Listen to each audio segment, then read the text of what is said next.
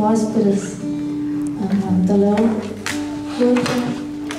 Tai esmė apie tai, kad Dievas mūsų kūrė ir Jisai mus pažįsta, žino, kada mes keliamės, kada mes krentam, žino visus mūsų paklydimus ir vis tiek pasirinko ateiti ir mūsų atpirkti ir turi mums planą.